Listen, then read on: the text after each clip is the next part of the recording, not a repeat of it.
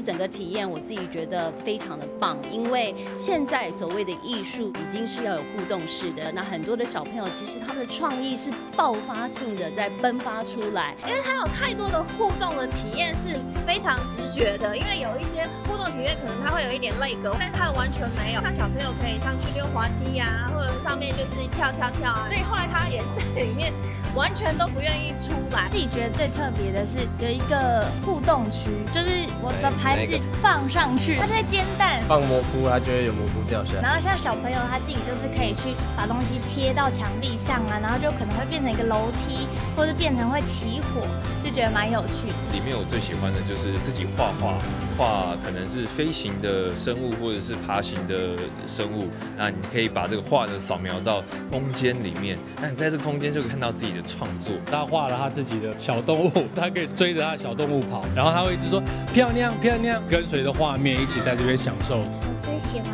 玩画画的哦，那你画了什么？蛇。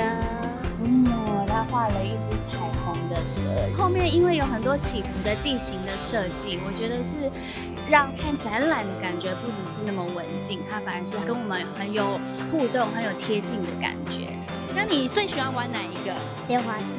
溜滑梯哇，他们整个已经溜到那边的服务人员都认识她们姐妹俩。我自己是觉得好像带我回到小时候这种无拘无束，然后就是在这个当下，我们可以跟现场的环境、跟动物一起共生，特别是又跟冲绳是同步，所以不需要去冲绳，在台湾、在士林、在科博馆就可以看得到。那也希望大家可以一起来参与 Team Lab 共创未来园，在国立科教馆，大家。